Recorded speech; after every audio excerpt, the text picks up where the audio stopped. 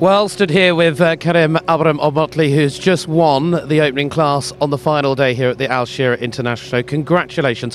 What a wonderful young horse you have. Thank you so much for having me. Actually, my eight year my eight years old uh, Garizona, she's uh, she's a fantastic horse. I just uh, bought her this summer, and I think she's gonna be a very competitive horse in the ranking classes. I'm sure she will, looking at the way she performed today. Tell us a little bit about that jump off round, how you approached it. Well, um, I felt it. You know, I have a very fast horse, and I thought uh, I have to go for it. So uh, I just went for it, and I won. Thank you. So she must give you a lot of confidence. Yeah, she is. She's really fast horse. She's a competitive horse. So when I ride her, I just have to go for it. And what's the plan going forward with her this year? Um, I think she has done uh, uh, three three shows so far uh, since I bought her. So uh, I will give her a bit of rest, and then I will be back in the summer in Europe.